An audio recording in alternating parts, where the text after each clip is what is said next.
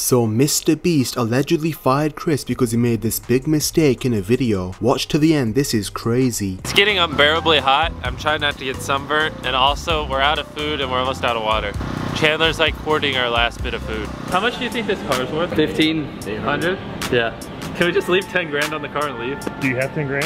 I just want to talk to this person, and if I could just buy the car, I wouldn't care. Like, I'd literally just buy the car. Just give him the Lambo? Yeah. What if we did that? What if we, I don't joke, what if I just gave him the Lamborghini? Like and subscribe if you love your parents.